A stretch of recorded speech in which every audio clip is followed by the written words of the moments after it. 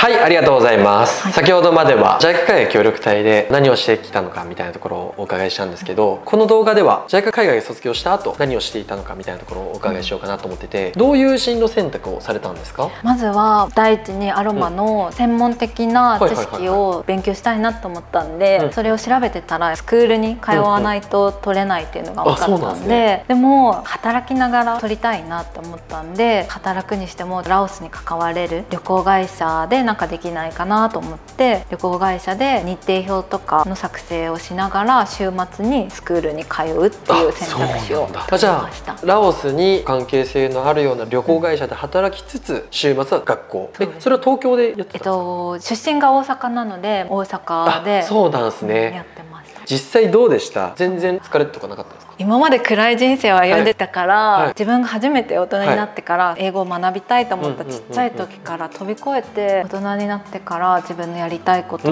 を自分の稼いだお金で始められてるっていうところがすごく嬉しくてそっちの資産の抜け出した。ついにね。なるほど。じゃあやっぱアロマっていうのが体育さんの中での一つのやっぱキーワードというか、うん、分岐点でもあったって感じなんですね、うん、そうだと思いますそうなんですね。ちなみにアロマのスクールって具体的にどういうことを学ぶんですか？最初はアロマテラピー検定っていうのがあって、そう資格があって、香り当てとかがあったり、どういう使い方が一番安全かみたいなところも学んだり、健康とアロマの歴史みたいなのを学んだりもあってそこから発展してインストラクターではじゃあなんでこの香りがこういう効果をもたらすのか、化学式を覚えるとか、化学式覚えるの？すごいねこういう方向成分が入ってますとか、はいはい、人に教えるためにはどういうことが必要かっていうので実際に一緒に通ってるスクールの人たちの生徒さんに見立てて自分が授業をするみたいなことをやったりとかしてました。うんうん、なるほど。じゃあその学校ではアロマのことを学ぶだけじゃなくて、今後インストラクターとして研修とかやるにしても、そういったところできるようなスクールに通ってたみたいなイメージなんですね。そうですね。なるほど。ちなみにアロマに関係する資格って何があるんですか？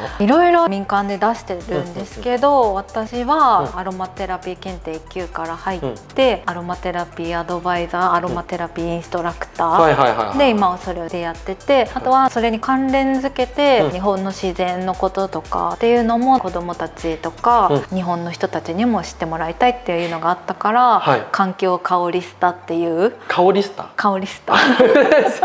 それ何 なんですか？日本の森林面積の話があったりとかこれまでどういう地球の環境問題が起こってるかとかで今世界ではどういう取り組みが行われているのかとかそういうことをそんなのがあるんですね。なるほど。じゃあ実際旅行会社で働きつつ学校に行くじゃないですか、うんはい、そっから旅行会社さんはずっと今も続けてるんですか？あもう辞めて、うん、インストラクターの資格を取り終わってからちょっと経って、はい、そこで退職をして、うん、すぐにアロマのインストラクターの資格で働くっていうよりかはまずは自分はアロマ好きで使い始めてるけど、実際この世の中でアロマを普段使いしてる人ってすごい少ないんじゃないかなって思ったからどうすれば自分が体験したちょっとした忙しい日々での癒しみたいなのを多くの人に提供できるかっていうのを考えた時に、女の人って化粧水とか基礎化粧品とかいろいろ使うからそこがアロマの香料になってれば普及しやすいのかなと思って実際にそういう化粧品を作ってる会社に就職してそう。でそうなんですね、うん。自分が結構喋るのが苦手だから販売員とかを経験して、うん、お客さんと一番近いところで伝えるっていうことを勉強したら、はい、今後インストラクターとしても自分の自信になるかなって思ったし、ゆくゆくはそういう製品開発にも携わっていきたいなと思って。てそうなんですね。転職しました。じゃあそこは次転職したところは、うん、アロマを専門に取り扱っている企業さんに入ったみたいな感じ。基本的にはもともと石鹸会社で、うん、そこが化粧水出したりとかボディーソープとかシャンプー出してたりとか、アロマのそのものも売ってるし、はい、結構いろいろ多岐にわたって日用品を売ってるっていう感じの会社ですね。なるほど。じゃあもともと学校でアロマって何っていうところから、インストラクターっていうところの勉強業をして、うん、とはいえ仕事として携わったことないから、うん、仕事として携わろうっていうところで、うん、その企業に入ってそうですね。でそこからそこの知見を持って今後インストラクターとしてやっていこうみたいな構想だったんですかね、そうですね。ちなみにそこの会社にはどれぐらい勤めていらっしゃったそこは2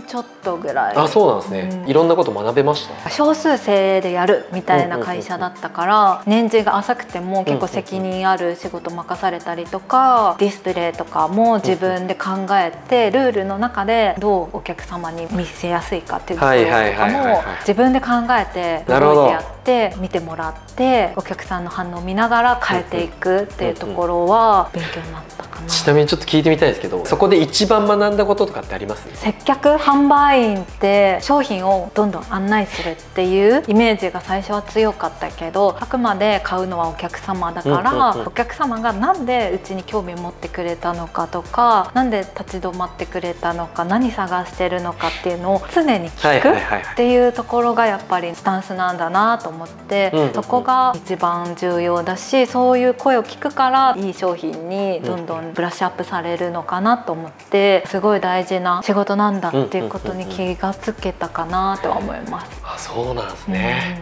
あありがとうございます、はい、実際じゃあその経験を得て2年間経ってもう自分は一旦大丈夫だろうところで独立したって感じですかね？本当はもうちょっと経験重ねて製品開発に行けたらって思ってて、でもゆくゆくやっぱりラオスで自然の恵みがあんだけラオスにはあるんだからそれを使って自分でアロマ抽出して、それがラオスの経済発展にちょっとでもつながったりとか雇用だったり環境整備とかにもつながればいいなって思ってた部分はずっとあったんで、ずっとやりたいって思いつつキャリアは積みたいっていうのがあって。でもふとそういうことをやりたいと思ってんだよねって言ってそうちゃんに話したらわざわざキャリアアップする必要あんのみたいな言われてじゃあ今からやってもいいかと急に思って始めたって感じです。すごいですね。今までじゃあそういうアロマを作ったことってそれまでにあったんですか？アロマ作ったことはなかった。やばそうなんだ。作り方は勉強してるけど実際に自分が作ったことはなくてて、古くからアロマ抽出されてきた方法があるから、今の途上国でもできるんじゃないって変な自信があったみたいな、そういうのが。あすごい。もうこの3つの動画見てるだけで成長を感じるんだけどどうしよう。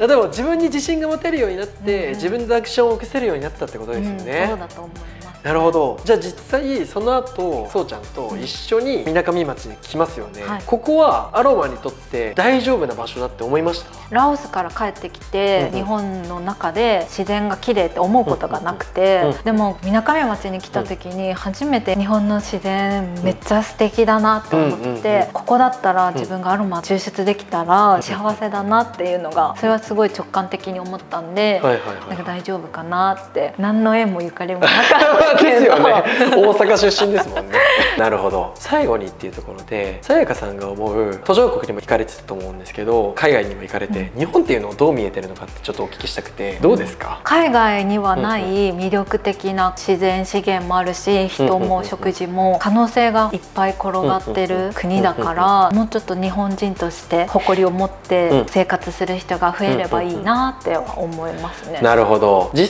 際やっぱ海外に行ったからこそ今のそれが感じたって感じですか、ね。そうですね。例えばさやかさんが日本にずっといたらそれは感じなかった感じですか、うん、感じなかったと思います。やっぱりそれは海外行ってよかったなって思いますね、なるほど。ありがとうございます。じゃあもう一点聞きたいのがさやかさんにとって国際協力って何だと思います？そこの環境で今自分ができることをやる。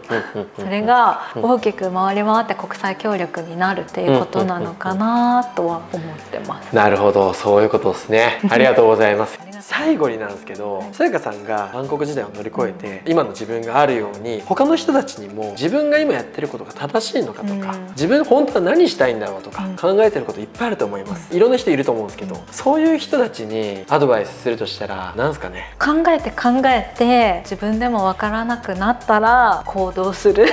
やって自分がまた何を感じるか考えるかそこと向き合うっていうのが大事かなって思うので、はい、なるほどですね。実際さやかさんがか自分が考えつつも起こしてきたアクションに対して後悔はありますか？ないです、やっぱそういうことなんですね、うん、はいありがとうございます。この動画では今何をしているのかってところをお伺いしたんですけど一連を通して あご時代取り替えましたね。でもすごい僕としてもインタビューさせていただく側としてすごく楽しかったです。ありがとうございます。はいこの動画が面白いなと思ったらぜひグッドボタンとチャンネル登録をよろしくお願いします。はい本日はありがとうございます。ありがとうございました